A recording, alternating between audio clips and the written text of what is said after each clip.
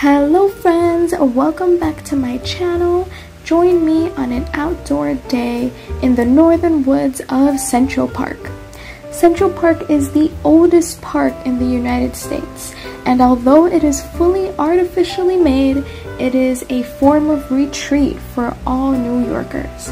Living in a big city, it can be hard to find a place to sit down and really appreciate nature and zone out of the annoying sounds that the city produces. There are more than 210 bird species in Central Park, and this time of year is the best to find and see these little friends. Let's always find time to appreciate the beautiful world we live in.